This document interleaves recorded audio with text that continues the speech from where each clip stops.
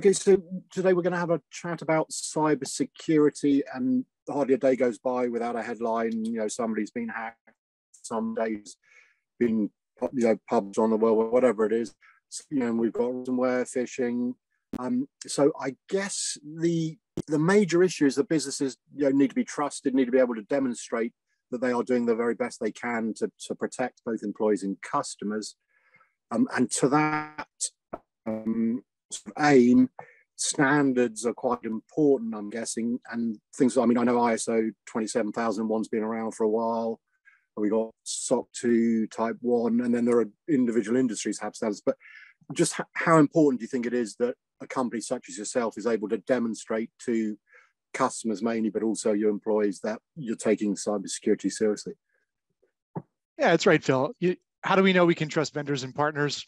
What insight do we have aside from what they might tell us or show us? I've certainly seen some companies that work together day in and day out.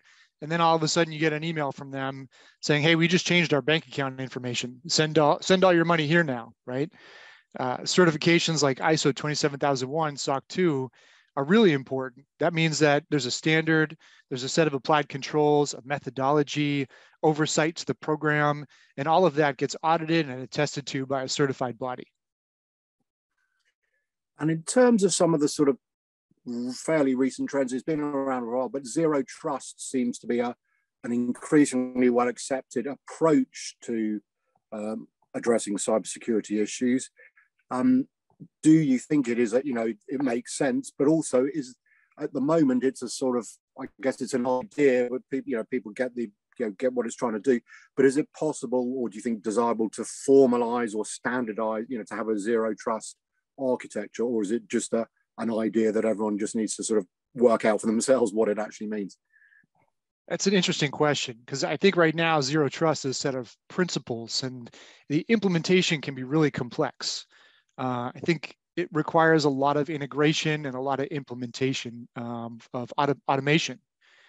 Um, there's a lot of ways that I think you can talk about it, and I like the idea that we're we're moving from the idea of trust but verify to never trust, always verify.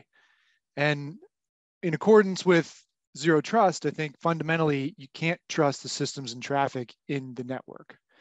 I think that as the adoption continues, and I'm, I'm thinking specifically about the, the US government's mandatory adoption for federal agencies, we're going to see implementation that becomes a standardized version of it and hopefully serve as a model for others to follow as well. And hopefully with vendor solutions, uh, vendors will continue to prioritize supporting integration and automation to help with that high level of complexity.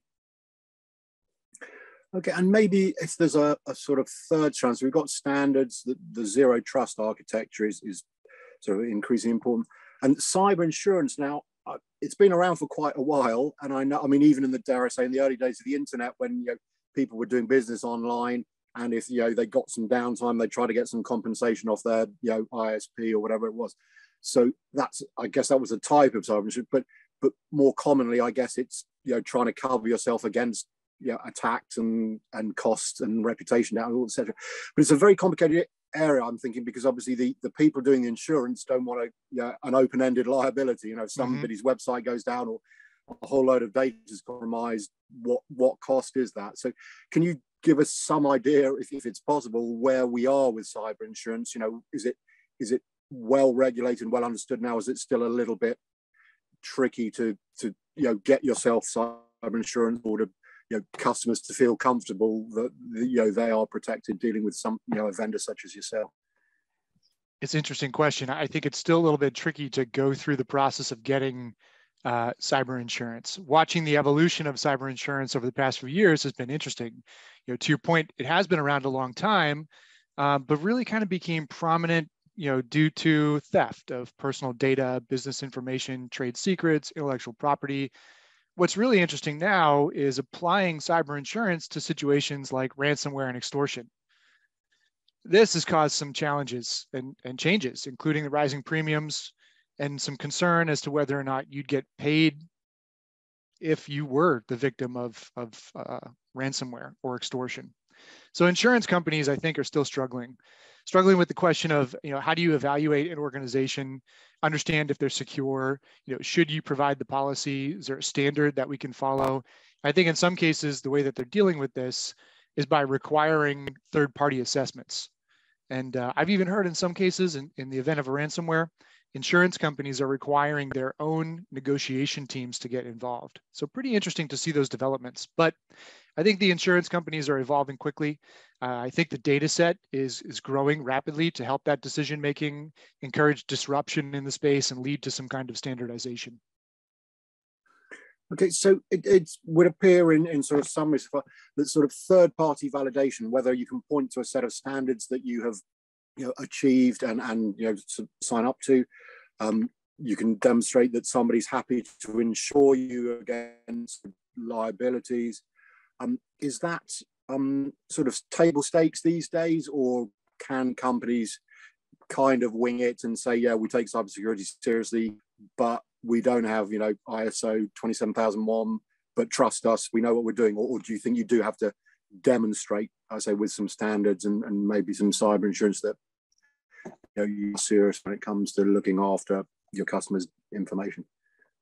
It's still a little bit of both, and the certifications do certainly help. Uh, you know, third-party validation is increasingly important, but also, you know, part of the challenge. How do you confidently validate security? Certifications, like I mentioned, are really great, but there's some other tools out there that can help with that. There's some great third-party risk management tools that help with organizational cybersecurity scoring that can provide some good benchmarks. And in terms, I mean, the, the crown jewels still seem to, well, I won't say still, but the importance of data is just growing day on day and the quantities out there. So customer data are crown jewels that need to be protected.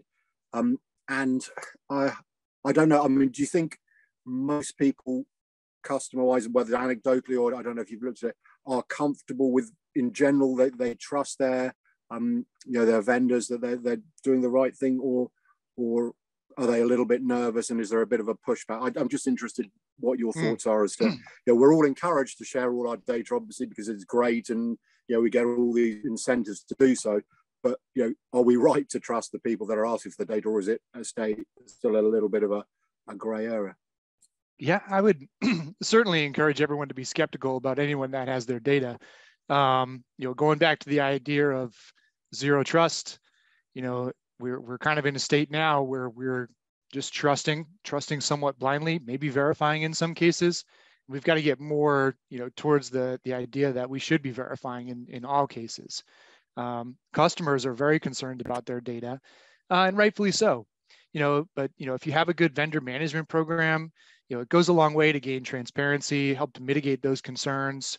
You know, as an organization, if you're cataloging and tiering your vendors, reviewing their certifications, you know, using tools, getting buy-in as part of that third-party risk management program, then I think you're on the right track. Okay, and in terms of the the sort of security model, we, we talked previously about zero trust, but there's also a again, I, I think it's been around for a while, but there seems to be an increasing emphasis on end-to-end security, which is a, you know is a grand sounding phrase. Um, and I think the last time I looked, there were probably over hundred different you know security subcategories, if you like. So I'm hoping that an end-to-end, you know, for the peace of mind of uh, the end user, an end-to-end doesn't involve all 100. But but is it is there a recommended architecture? Are there some you know good models out there from organizations, vendors? What how do you go about and you know developing an end-to-end architecture?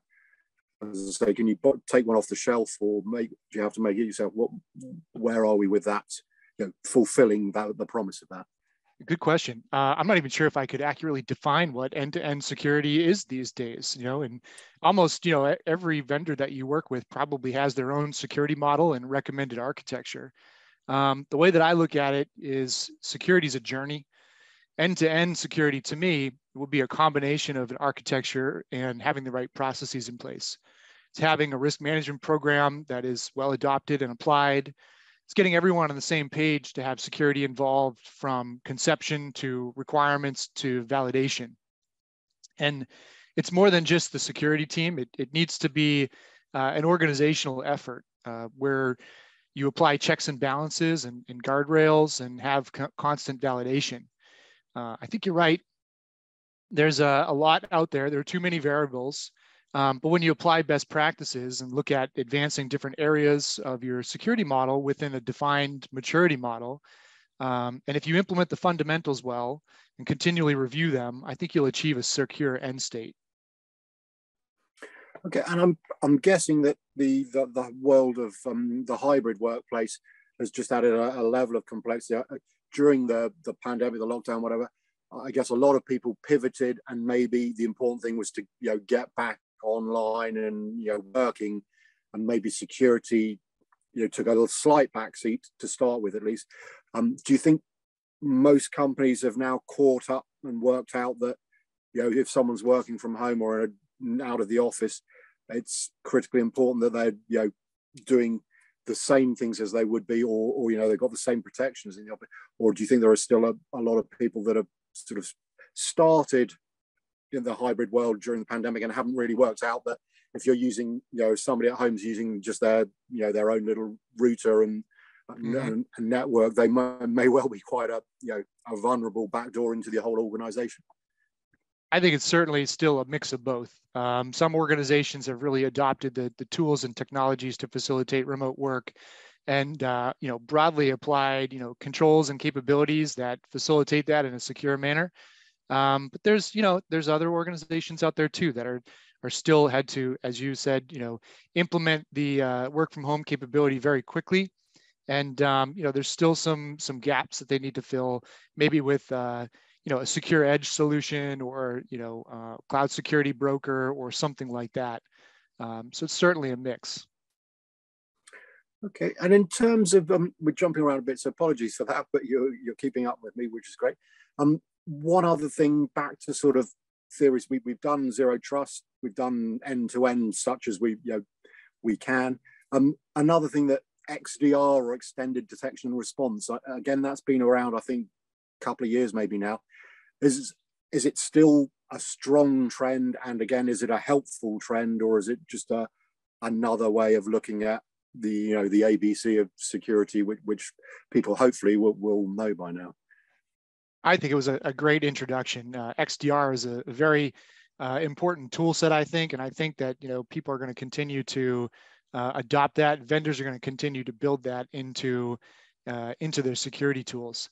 You know, every security team needs to figure out what tools are best for them, or maybe engage with a, an MDR vendor or MSSP, managed detection and response, or managed security service provider.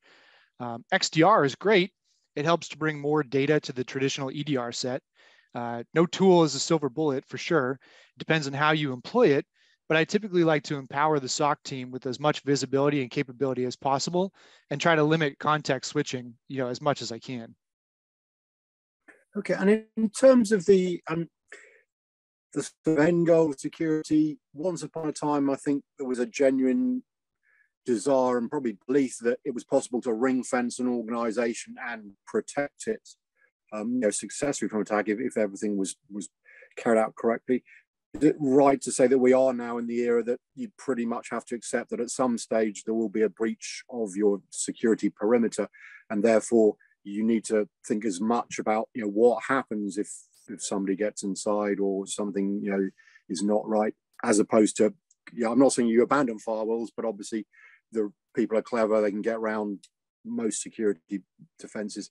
So yeah, the mindset needs to be we probably will get attacked successfully. How can we mitigate best you know, when that happens? Is that right? Right, I think so. the traditional perimeter model, it's not uh, it's not working today. You know, um, you know, to your point, is is it a question of if, not when, or perhaps you've already been compromised, you just don't know it yet. You know, there's a lot of sprawl today, um, which means that there's a lot of attack surface to evaluate. So we have on-prem domains, we have cloud services, cloud applications, and we have multiple flavors of all of those. Uh, it's hard to get to everything, and the threats are just evolving so quickly. So it's important to have that capability to respond. And I would encourage any security team or even organization, you know, to practice, practice, practice, practice, practice incident response, and make sure that the organization has practiced that. So yes, I think it's important to train and build the playbooks with that mindset. That's not if, it's when. And in terms of the um, the sort of the overall cybersecurity solution a company develops, um, a, a, lot of focus is given, and understandably, on the technology. You know, all the vendors come out with solutions, and that, you know, bells and whistles and all that. But do you think sometimes perhaps the the people, you know, if we're looking at the classic people process product, you think sometimes people get a little bit obsessed, think, oh, we, you know, if we implement these solutions, we're fine, uh, forgetting perhaps that, you know, however clever you are, if you know an employee gets an email that tells them they've just won a, you know, a couple of million dollars or whatever, and they open it and oh, whoops a daisy, that sort of thing. And also then the process. I think you referenced earlier, you know, understanding risk within the organization. So there is a, a, a very serious need to understand or educate your employees, develop policies, processes, and then go out and find what, what what's best for you. you. As I say, do you think the emphasis is too much on the on the technology, and not enough on those those first two steps? Well, I mean, I, I think you you said it in its entirety, right? People, process, product, or you know, people, process, and technology all work fundamentally together. And I think you know you have to build your fundamentals on top of that that pyramid people process and technology. If you focus on the fundamentals and getting the right people to take ownership over them uh, you can be successful. Things like you know you have to know what's on your network know where your data is vulnerability management endpoint security secure configurations vendor management. I see these as being those fundamental processes that really revolve around um, you know people that can do it and then having some kind of technology that helps you get it done cybersecurity has become really complex. So it's important to start with fundamental practices and then plan your maturity and growth milestones over time in conjunction with encouraging learning and growth on the team, you know, to keep everyone's skills sharp. And in terms of um, end users, when they're looking to, you know, engage with a vendor or an MSP or whatever, are there, is it easy to um, list sort of table stakes, you know, when you're engaging, having a conversation with a vendor, do you think there's a, a list of things they must, you know, must be able to demonstrate, or if you ask them questions, rather than scratch their heads and say, oh, I don't know, I'll get back to you, they need to be able to tell you, you know, what they're doing about whatever it is. Any thoughts as to is that is it possible to draw up that kind of uh, list? Yeah, I think you need to. You know, using third-party services and solutions has really become uh, a dominant operating model. You know, in most cases, it reduces the need for infrastructure, resources to operate it, things like that. Um, but more and more of these third parties are being targeted to get access to their customers and partners. Not only does that present concerns for companies, but you know, if you think about the major Log4j vulnerability uh, that happened, you know, um, at the uh, end of last year, uh, it recently showed that you know security and IT teams need to have a really, really good understanding of what third parties they're working with, and to take that one step further, what software libraries they're using too. And then they've also got to be ready to respond to a major vulnerability that might exist in software, uh, firmware, or even their cloud solutions. Um, the stakes are really high.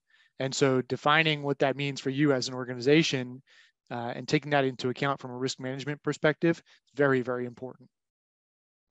And, and is it possible, sort of following on from that, is it possible to, to um, assess vendors in terms of the, the people that, you know, do enough as opposed to leaders um, you know for example what, what yourselves might do you know in terms of giving that extra reassurance to, to customers who are going to engage with you I think so. I, I, like to say, you know, let let the data uh, provide uh, help you make a decision. So I think certainly something like the certifications help a lot, but you know, compliance is really not the same as being secure. Uh, developing questionnaires, uh, building out contracts that have security requirements and commitments, and then using those third-party tools we talked a little bit about. That really helps to define and elicit some of the data points that may not be identified just by having a certification. If you understand whether or not a third party has had a breach, maybe has compromised systems or, or unpatched systems, helps you get a better idea of the, the third party security and what risk you're taking on. You know, or, or if they don't have that, they they haven't been compromised. You know that that can be points in their favor. So there's some great tools out there that can help provide this information and help organizations make decisions based on what level of risk that they're they're willing to accept. Okay, and maybe just just as we finish, um, and feel free. You know, I understand if, if it's not right for you to reveal, but in terms of your role at Park Place, are you able to share with us how how it's evolved and you know, how you've seen the security threat landscape develop, you know, from where it was a couple of years ago to you know the, the type of issues you're dealing with now? I think uh, the, the threat landscape has been interesting to watch. Um, but you know, I, I, think that it's the same uh, same threats that we are we're concerned with over time. You know, I think when you look at uh, an organization and you take into account the business and, and what's critical, um, particularly for you know for us at Park Place, we're always concerned about you know phishing an attacker getting a foothold, an attacker escalating their capabilities within our environment, and then attacker getting a highly privileged account and then having access to you know, data or, or capabilities within our environment. So, you know, for me, I tend to break it down uh, in that manner, and we train the team to respond to uh, each one of those different events. And we build our, our IR plans around that too. So those are really the things that we're concerned with. And watching that over time, you know, once an attacker has access, they might, you know, exfiltrate data or, um, you know, look to get into a uh, social engineering situation followed by business email compromise or even deploy ransomware. But hopefully what we train for is to look fundamentally at that attacker kill chain and, and disrupt it um, wherever we can as quickly as we can. And, and promise final question because you've given me a lot of your time and I'm grateful for that. Are, are, you an optimist when it comes to the the, the constant, I, I, don't know, call it friction between the, the bad guys and the good guys? Because uh, obviously, as digitalization gains pace, more and more activities are, if you like, you know, at the mercy of IT infrastructure, um, which gives, you know, as I say, the, the, the hackers and etc. some you know, extra opportunities. Do you do you worry that we're you know for all the benefits of this we're, we're giving them a, a lot of easy targets? Or do you think that the uh, the solutions just about keep pace so that it you know the digital world is is you know safe from from compromise? Hmm, good question. Um, I, am certainly not an optimist. I hope i'm more of a realist. And um, I, am definitely concerned you know it, it, security really is uh, a, a, cat and mouse game. You have to be prepared for anything and everything. And as you know, the, the technologies develop and, and mature, you know, some are going to fall by the wayside and others are going to become, you know, those that you can defend and secure. There's always this constant need to keep up. Um, but as a realist, you know, I think it's important to think about, you know, how do you test your capabilities and how do you continue to improve them? And so, you know, usually what I'd say is, uh, you know, continuing to test our organization through penetration tests, you know, full scope penetration tests, and then training the team too. Um, looking at those newest attacker techniques through exercises like purple team exercise, um, you know, good training.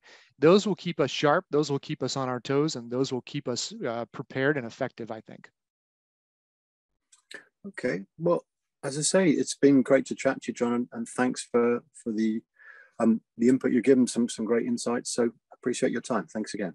Absolutely, Phil. It's been a pleasure.